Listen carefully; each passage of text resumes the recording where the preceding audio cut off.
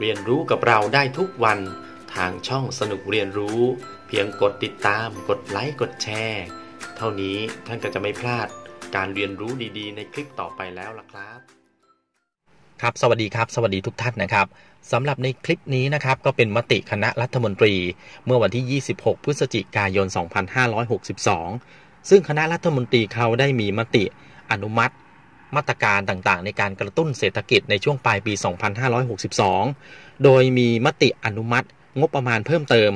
นะครับตามโครงการสนับสนุนต้นทุนการผลิตให้กับเกษตรกรผู้ปลูกข้าว ในปีการผลิต 2562 และ 63 ซึ่งมีการจ่ายเงินไปบ้างแล้วบางส่วนนะครับ รายละเอียดความเป็นมาเนี่ยนะครับตามที่คณะรัฐมนตรีได้มีมติเมื่อวันที่ 20 และ 27 สิงหาคม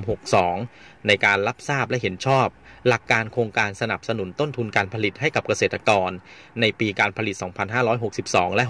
63 ซึ่งเป็นหนึ่งในมาตรการกระตุ้นเศรษฐกิจในปี 62 โดยวันที่ 1 ตุลาคม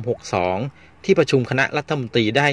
รับทราบนะครับและก็หาลือการดำเนินโครงการดังกล่าว ในวงเงินงบประมาณประมาณ 25,000 ล้านบาท ซึ่งอยู่ภายในกรอบวงเงิน 25,000 ล้านบาทนะครับ ตามที่คณะรัฐมนตรีเห็นชอบ เมื่อวันที่ 27 สิงหาคม 62 ทั้งนี้ภายใต้กรอบวงเงินดังกล่าวเนี่ยมีวงเงินที่ใช้เงินทุนของธนาคารเพื่อการเกษตรและสหกรณ์การเกษตรสำรองจ่ายให้กับเกษตรกรไปก่อนเนี่ยนะครับจำนวน 24,800 กว่าล้านบาท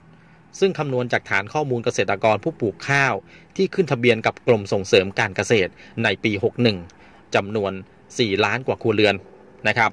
สำหรับในรายละเอียดเนี่ยนะครับผลการดำเนินโครงการสนับสนุนต้นทุนการผลิตให้กับเกษตรกรในปีการผลิต 62ทับ63 ณ วันที่ 31 ตุลาคม 62 ตรงนี้ทกสได้โอนเงินช่วยเหลือให้เกษตรกรผู้ปลูกข้าวไปแล้ว 4 ล้านกว่าครัวเรือนนะครับเป็นเงินจำนวนประมาณ 24,000 ล้านบาท ซึ่งคงเหลือวงเงินอีกประมาณ 147 ล้านบาท และกระทรวงเกษตรและสหกรณ์ได้ประมาณการ จำนวนเกษตรกรที่ขึ้นทะเบียนเกษตรกร ผู้ปลูกข้าวปี 2562 ณ วันที่ 31 ตุลาคม 62 รวมทั้งคาดการจำนวนเกษตรกรผู้ปลูกข้าวที่ตกหล่นเพิ่มขึ้น อีกประมาณเกือบ 5 ล้านครัวเรือน จึงมีเกษตรกรผู้ปลูกข้าวเพิ่มอีกประมาณ 260,000 ครัวเรือนนะครับส่งผลให้งบประมาณที่ยังคงเหลือไม่เพียงพอ ในการจ่ายให้กับเกษตรกรที่ขึ้นทะเบียนเกษตรกรผู้ปลูกข้าวในปีการผลิต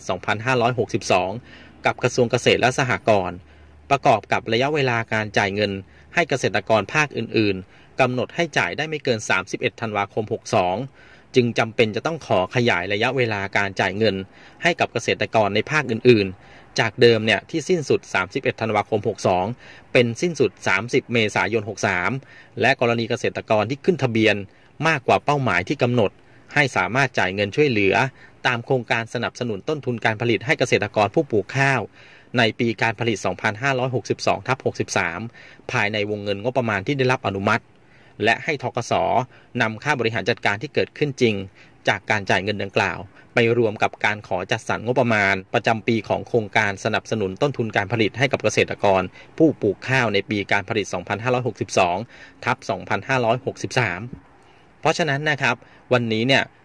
คณะรัฐมนตรีได้มีมติอนุมัตินะครับงบประมาณให้กับทกสเพื่อไปจ่ายเพิ่มเติมให้เกษตรกรอีกอีกประมาณเกือบ 5 ล้านครัวเรือนนะครับ ที่งบประมาณอนุมัติไว้แล้วเนี่ยไม่เพียงพอ และขยายระยะเวลา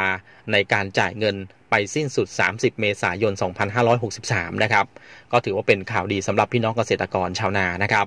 สำหรับในคลิปนี้ก็คิดว่าน่าจะเป็นประโยชน์สำหรับทุกท่านพอสมควรสำหรับท่านที่อยากจะรับทราบข้อมูลข่าวสาร หรืออยากจะเรียนรู้กับเราในคลิปต่อไป ก็อย่าลืมกดติดตาม และกดที่ลูกกระดิ่งนะครับสำหรับในคลิปนี้ขอลาทุกท่านไปก่อน แล้วพบกันใหม่คลิปหน้า สวัสดีครับ